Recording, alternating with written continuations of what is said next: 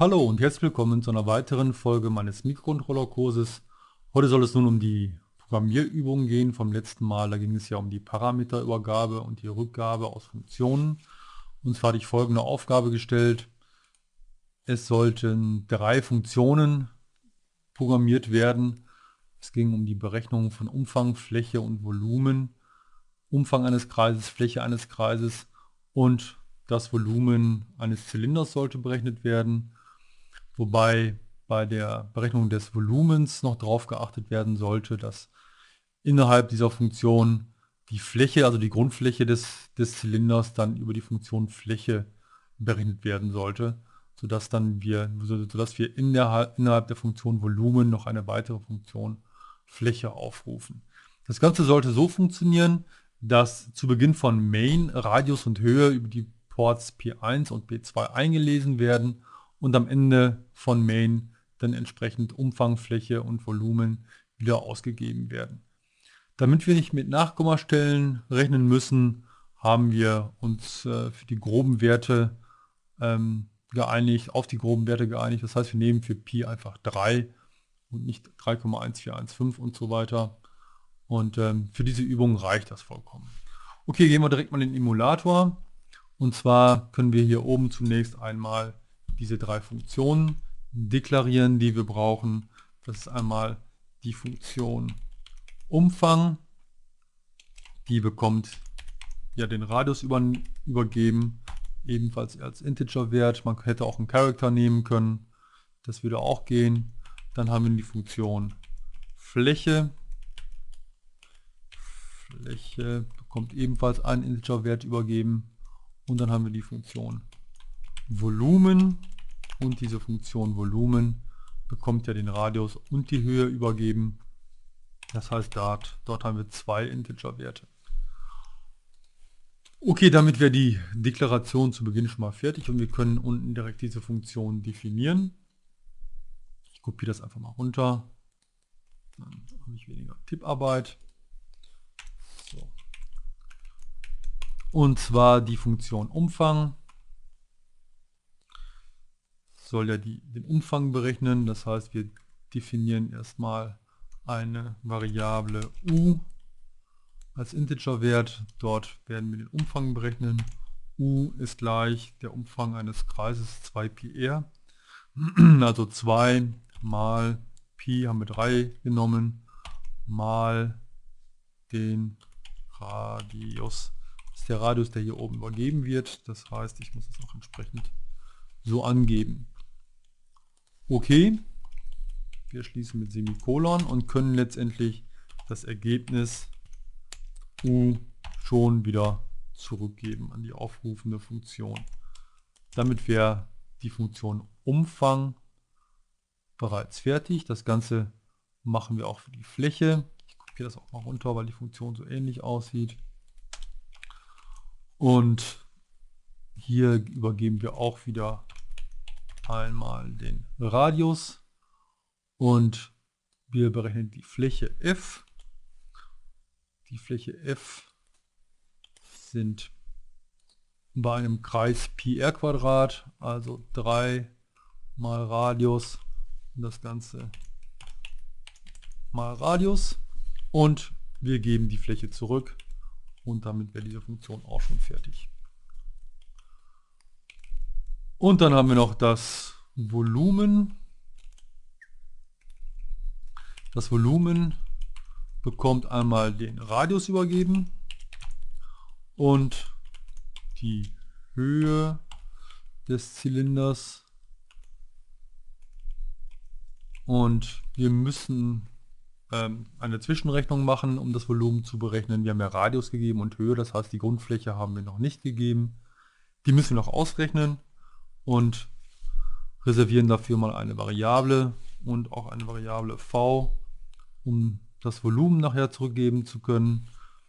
Und die Fläche, die wir hier berechnen, f ist gleich,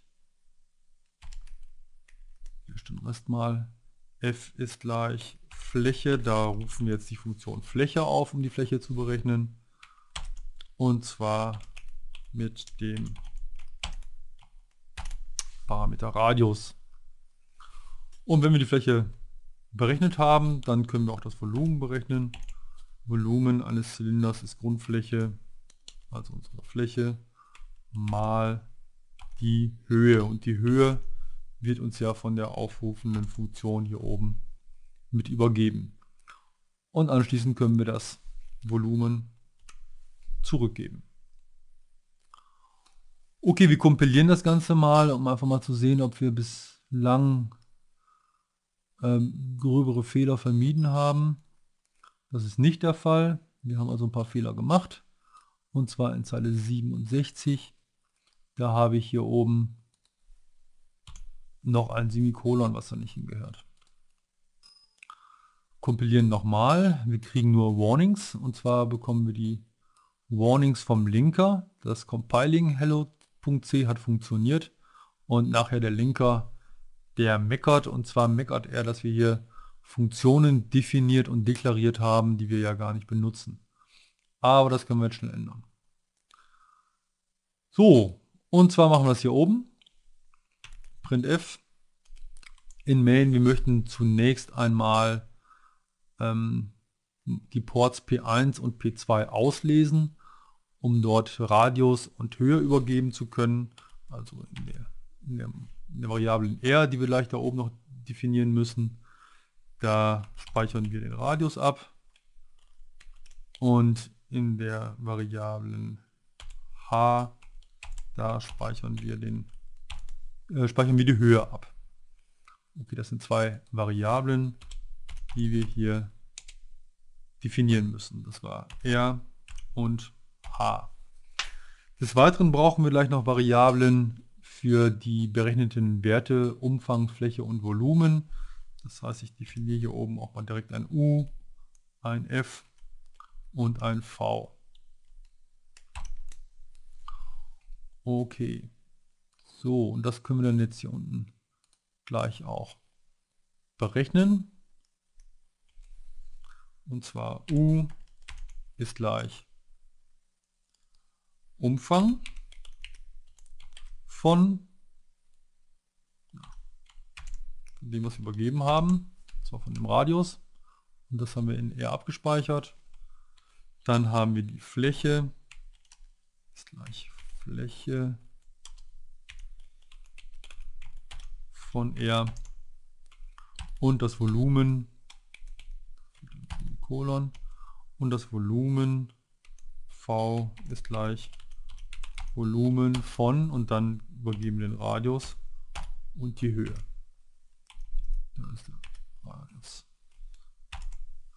So, dann haben wir Umfang, Fläche, Volumen berechnet und entsprechend in Variablen U, F und V abgespeichert und die können wir jetzt ausgeben, indem wir sagen printf und dann Umfang, Doppelpunkt und da soll der Umfang ausgegeben werden.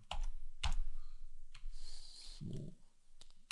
Zwar das U. Das gleiche für die Fläche. Soweit. Fläche.